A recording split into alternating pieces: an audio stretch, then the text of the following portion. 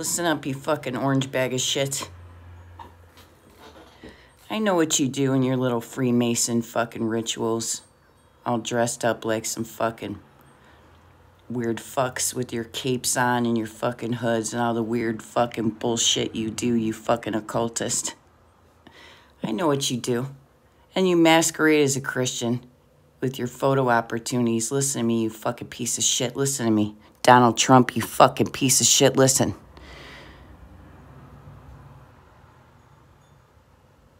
That lightning strike on the Washington Monument was not a mere coincidence. God is trying to tell you that He is fed up. He is fed up.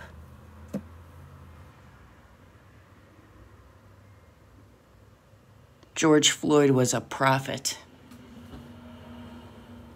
He was filled with the Spirit of God, and you could see, everyone can see it.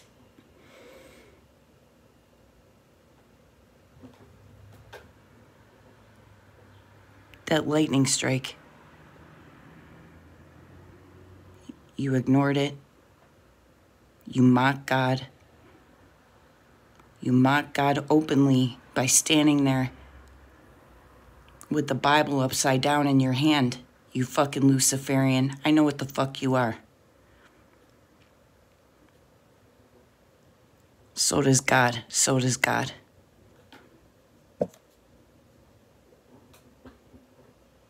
And hell is forever. And you're hellbound. And that's where you're going to go. You're going to suffer for all eternity. You know, Vladimir Putin goes to church every every Sunday. And not for a photo opportunity either. Why don't you study him? Study him. Next time you think about grabbing a woman by her pussy or looking at your own daughter with lust, you fucking antichrist.